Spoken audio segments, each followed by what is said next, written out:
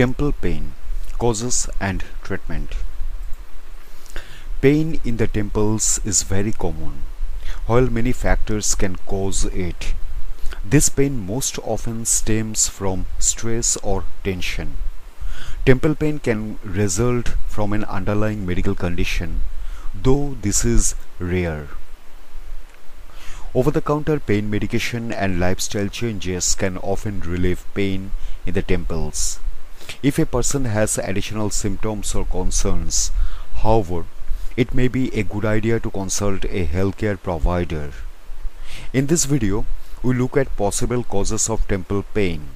We also describe their symptoms, treatments, and when to see a doctor. Tension headache a tension headache commonly causes vice-like pain in a band around the head. It can also cause tenderness in the head and neck muscles. These headaches may last about 30 minutes, though a severe tension headache can last for up to one week. Tension headaches usually cause mild or moderate pain. They do not get worse with physical activity. So people are often able to carry on with their routines. While unlike other types of headache, tension headaches do not cause nausea or vomiting. People may feel increased sensitivity to either noise or light. Diagnosis The doctor will review the, the, person's medical history and symptoms. There are no specific tests to diagnose tension headaches and they can be difficult to distinguish from migraine headaches. Treatment If tension headaches are frequent and long lasting and therefore chronic, a doctor may recommend preventive treatment. This may involve an antidepressant as well as massage and relaxation therapy. If tension headaches occur infrequently and are therefore acute. A person may benefit from taking over the counter medication for pain relief, such as acetaminophen or anti inflammatory drug. Migraine Migraine headaches usually start on one side of the head. They can also move from the back of the head to the front, behind the eye. A migraine headache can start as a dull ache that develops into a pulsing pain. Some people feel pain or pressure in their temples. A migraine episode may have the following four stages, distinguished by changes in symptoms. Prodrome This stage can include sensitivity to light and sound, tiredness, mood changes, neck pain, and nausea. Aura A migraine aura is a sensory disturbance. An aura may be visual, involving lights, lines, or spots in the field of vision. Or the aura may be physical, causing a pins and needles sensation. Auras affect one third of people with migraine. Headache a migraine headache causes pain that gets worse with movement.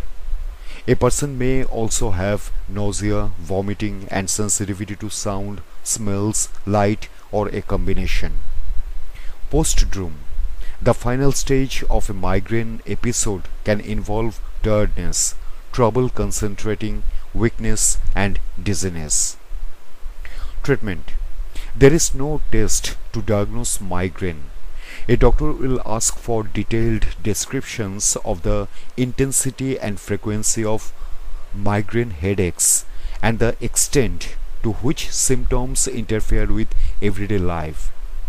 Keeping a record of symptoms and any medications can help the doctor recommend the best course of treatment. Meanwhile, an MRI or CAT scan can rule out other causes of head pain. Cervicogenic headache A cervicogenic headache can result from a disorder of the cervical spine. Injuries to the neck, or arthritis of the upper spine. Symptoms of a cervicogenic headache can include pain on one side of the head, possibly in the temple, a stiff neck, nausea, blurred vision, a sensitivity to light and sound, a reduced range of motion of the neck, a headache that gets worse with certain movements of the neck. Treatment A doctor diagnoses a cervicogenic headache after considering the person's medical history and symptoms. Treatment for cervicogenic headache involves medication including nerve blocks, exercise, physical therapy. Giant cell arteritis Giant cell arteritis or GCA causes inflammation of blood vessels. This results in pain that is intense, burning and pulsating. The pain tends to occur in the temples, though it can extend throughout the head. Common symptoms include tiredness, tenderness in the scalp or temples, pain in the jaw when chewing, a fever, a loss of appetite, weight loss. Rarely, giant cell arteritis can also cause blurring, double vision, or loss of vision if it affects the blood supply of the eyes. To prevent this, it is important to obtain a swift diagnosis and immediate treatment. Doctors do not know what causes giant cell arteritis. Treatment The doctor will do a blood test and a biopsy to confirm a diagnosis. The person will then begin treatment immediately. A high doses of steroids can help with giant cell arteritis. This treatment will continue for one month until symptoms go away. Then the doctor will gradually lower the doses. Overall, the treatment tends to last about one year to prevent recurrence. Side effects of steroids can include weight gain, an increased risk of infection, muscle weakness, bone loss, elevated blood sugar levels. Vitamin D and calcium supplements may help prevent bone loss. If giant cell arteritis causes vision loss, it is usually irreversible. Mild traumatic brain injury. A mild traumatic brain injury or TBI caused by an impact to the head. About 85% of headaches that result from a mild traumatic brain injury are tension headaches. A person may feel this pain anywhere in the head, including the temples. Treatment After a mild traumatic brain injury, doctors may use MRI or CAT scans to detect any blood clots or bruising to the brain. If memory problems, dizziness, visual disturbances, or persistent headaches occur, the person may need to see a neurologist. After a mild traumatic brain injury, it is important for the person to follow their healthcare provider's instructions. This may involve rest, exercise, relaxation, a reduced caffeine intake. Physical therapy may also help with tension headaches that result from a mild traumatic brain injury. Cerebral aneurysm A cerebral aneurysm is a weak, bulging area in the wall of an artery in the brain. If it bursts, this causes a sudden, excruciating headache. An aneurysm can develop in any artery in the brain. Symptoms can include drowsiness, sensitivity to light, eye pain, a stiff neck, nausea, vomiting, a sudden severe headache if the aneurysm ruptures. Treatment Doctors use the following test to diagnose an aneurysm. Digital subtracting subtraction angiography. This produces an image of the blood vessels of the brain. CT scan. This shows a more detailed image to help detect irregularities.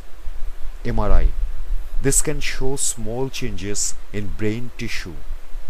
Magnetic resonance angiography. This involves using intravenous dye to make the blood vessels more visible on the scans. The primary treatment for an aneurysm is surgery, of which there are two types open craniotomy, which involves using a metal clip to prevent blood flow to the aneurysm, endovascular coiling, which involves inserting soft coils through a catheter to prevent the aneurysm from rupturing. Brain tumor. A brain tumor is an abnormal mass of cells in the brain. Symptoms can include headaches, dizziness, nausea, confusion, seizures, and paralysis. Treatment To diagnose brain tumors, doctors can use various forms of imaging including CT, PET and MRI scans. To confirm the diagnosis, the doctor may recommend a biopsy. However, this is a risky procedure. Doctors usually treat brain tumors with surgery. The neurosurgeon will remove as much as as much of the tumor as possible without damaging the surrounding brain tissue. Radiation. This can shrink the tumor by killing cancerous cells. Chemotherapy. This damages the cancerous cells. When to see a doctor? It is important to seek medical attention for head pain when it increases in frequency and severity or does not stop. Interferes with daily life is accompanied by symptoms such as confusion, dizziness, a fever, or vomiting. Occurs as a result of a head injury. Seek immediate medical help if a person experiences a sudden, excruciating headache. Headache accompanied by vision loss, a loss of consciousness, or vomiting.